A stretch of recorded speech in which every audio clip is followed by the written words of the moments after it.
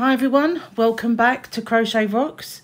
This is part two of the creeper blanket and this is my template.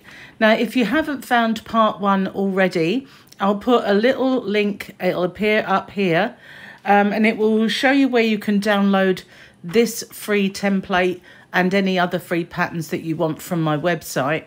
Um, so then obviously that is part one and it kind of goes into how many squares you need and everything else. So, but this is the joining of those squares. Now, this is how I'm joining them. I've so far done this row and I'm up to this square here along this row and I'm just joining them one at the time. Now, this is a invisible join that I have used before and it is a join that is really a knitting join. Um, there are variations of that join, the mattress stitch, on uh, in many crochet tutorials, but that mine is very similar to the knitted version of the mattress stitch. Now, as I said, I'm up to this one here, but I won't show you how to join that one because it's very difficult to join, um, to see the joining of the black. Um, it is the hardest one to work on when you're making the squares or when you're joining them. So I won't do that one because I want you to be able to see um, what I'm doing, obviously. So I'm going to join, um, where am I up to? These two squares here. This would be the next one up. I've kind of come along here and I'm up to this one. So this would be the next bit in that corner. So I'm just going to join these two squares and show you how I, I do that. So for that, I've already done all my ends, tucked all my tails away. So, you know, that's one good thing. Now, the yarn itself, they are all the same size, but some of them look a little bulkier, but that does all work out once they're all joined, so that's not a problem. So I've got my darning needle. Now, all you need to do to make my invisible join is use one of the colours that are involved in the squares you're joining. You know, cool if you're doing two the same colour, but if you're not, as long as the colour that you're using is one of them, then you shouldn't see any part of it at all. So we thread um, a knitting or crochet darning needle, whichever we want to call it, and I'm going to start with this one because I'm, I'm I want to start with the colour that I'm using. It doesn't matter too much, but what you want is the corner. So we've got two, the chain, and two. So I'm going to go into that corner and I'm going to go, if you look, if you were crocheting, then you would be going into these parts here to pick up that stitch. But I'm going in between it. So what you want to do is you want to look at the V and you want to go in and come back up in the next stitch through that. So you're going into the actual V. Now you need to leave quite a nice sized tail for sewing in. And then we'll get our next one and we find exactly the same part. So there we are. We're going in and out. So obviously, excuse me, I'm going a bit dry there. We're kind of working we're putting them side by side so they're both right side up. So whereas you were pulling that forward, this time round you can see it quite, quite clearly. So we are going in exactly the same into that one and up through the next. Now we don't want to pull it tight. Let's get the tail out the way. I don't want it to tangle which it's doing. Didn't do that on any of the ones. Oh my goodness. Let's get rid of the tail. There we go. I usually just, because I usually do it in my hand like this, then I'll hold on to that as I'm sewing. I'll show you what I mean. Now that I've got them together, there's my tail. And this is my, my working yarn. I pull that down and I hold on to it. So now it's gone completely out of the way. I'm holding on to it at the back, but you can do that if you want.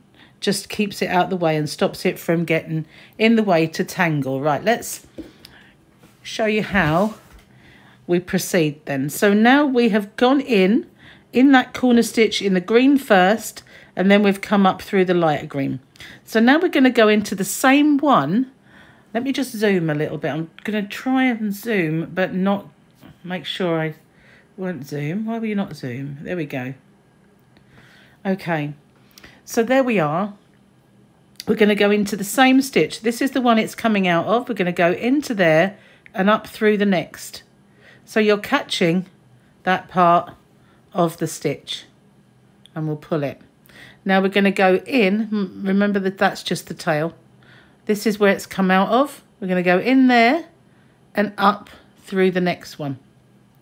And we want to leave it as if we're lacing up a pair of sneakers or trainers, whatever you want to call them.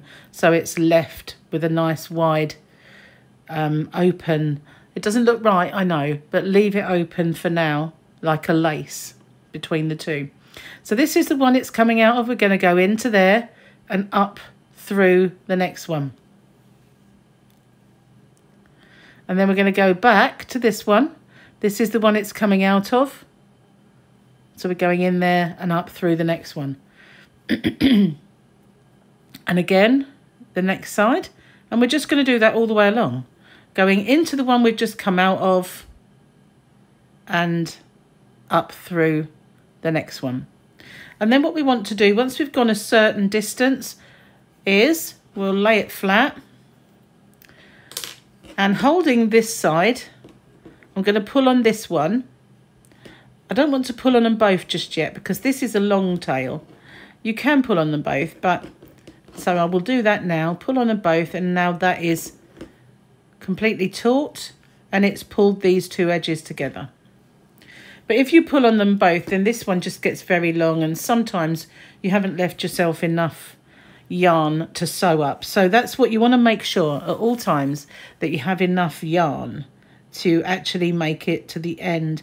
Don't go playing yarn chicken with this, because it can be quite a stress if you do. That's the one we come out of. It's always difficult to see that, um, especially in the black, when you've pulled it. So that's why, you know, want to make sure you go in the right one and up through the next. Again, that's the one it's coming out of. You can see it coming out there. So we're going into that one and up through the next. And again, we're lacing it. I'm keeping that nice and wide. Of course, it's nice and easy to see the one on the opposite side um, because the colour uh, is different.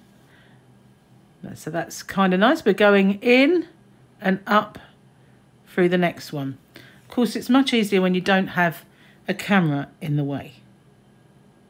Okay, so you get a few inches up or don't leave it too long. Then we'll put this over that side.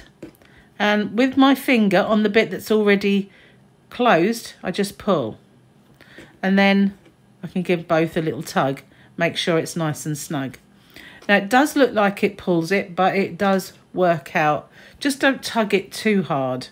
As long you're just looking to join it not to um, to stretch it in any way so then we're going to do the same all the way across. Now, in the past, I've used this join and I maybe have made all of one side. I'll get my diagram. Joining these here. So I'm left with a long strip. Which, oh, hang on, I forgot I'd zoomed. Sorry, let's come out. Okay, I'll start again. So in the past, I've joined each one at this point. So I've got nice long strip. Looks like a scarf, only miniature. So then I would do the same again with this one, all the colours that I need. And then I would just join the whole lot. But for this blanket, I've decided I'm going to do one at a time. So this is a start and an end this would be a start and an end. It's a lot of ends to sew, I know, but a start and an end, a start and an end. You know, I'm just doing it one at a time. And the reason for that is that this is for Tyler, my grandson, and that blanket that I'm making will be dragged around. It will be taken everywhere. It will be herded with lots of others. He loves his blankets and he will use that blanket um, every day. And it will need to stand up to quite robust treatment, really. Now, if it's just going to go over a, a tiny baby and never move, that's fine. But this is going to need to be as secure and um, as strong as it can possibly be. So I'm just doing one at a time. That way, should any come open, it's a quick and easy repair rather than a long, drawn out repair. So that's why I'm doing that anyway. So you can, if you want to, do the whole side, um, join it in any way you like. But I, I'm, for this, it's taking longer to do it this way. But I just think it's going to be safer all round to do one at a time for this particular project. And of course you can do whichever join you want. I've got, uh, the tail got involved then. Okay, so I've got a little bit further, just pull it, and you can see it all meets together quite nicely. We're nearly at the end, and this is one of the ends that I've sewn in from when I ended, so it gets a little bit messy at that point. So um, you just carry on, carry on um, going up in the same way, all the way to the end. And then once you get to the end, you just want to secure the yarn on the reverse side and uh, sew in your ends. It's quite um, as simple as that. But that's it, basically. And all you do is sit there with your diagram in front of you, making sure you go with the right colours and you join the right ones at the right time. Um, once you've completed the whole thing, it is then um, time for border. And all I'm going to do is a few rows in a contrasting kind of green colour um, to make a, a nice sort of little finish, little finished border. And the reason I'm going to do that is because at some stage, this is the last one, so I grab both my ends and give it a little little tug that's all done nicely. For some reason that's not pulling. Hang on a minute. Maybe I'm going to undo that last one. It's For some reason it's stopping it from, from pulling out. It's quite easy to undo one. Okay, is that better? Yes, it is. Must have just got caught up in the knot there. It's quite simple to take it out. So all you've got to do now is sew the ends in. So um, you can give it a little tug if you want, just to make sure that there's no slack. And there you got your invisible join. So it just butts them up nicely. Now on the reverse, it makes a little ridge. But again, it's quite quite invisible. You can just about see a little bit of yarn here and there. But because it's one of the colours, it is more or less invisible. So yeah, that all you've got to do now is grab a needle. I've got two, so I can do one end and then the other.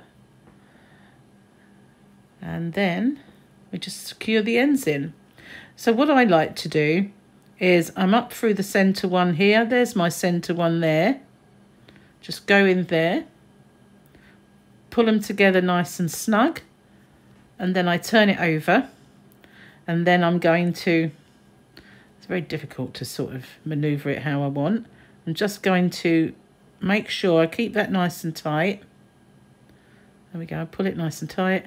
And then once I'm there, I go through there to make a little knot. And for security, because I know the boy that this is for, I will do another little knot. And then I'll just feed this through the green and then I will sew it back and forth through my corner. So um, just a case of tracing this down,